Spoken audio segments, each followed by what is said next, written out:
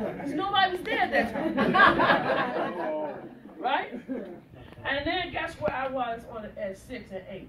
On the point. On the point. That was my day. you understand what I'm saying? Mm-hmm. That's how my day.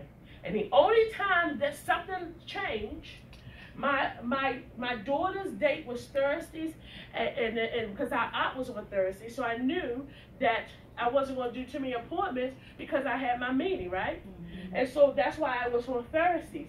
And so I knew if I took her out, and that was our date day, she didn't she didn't worry none of the week while I was gone because she knew she was my appointment on Thursday, mm. and nothing interfered with that appointment. Mm-hmm.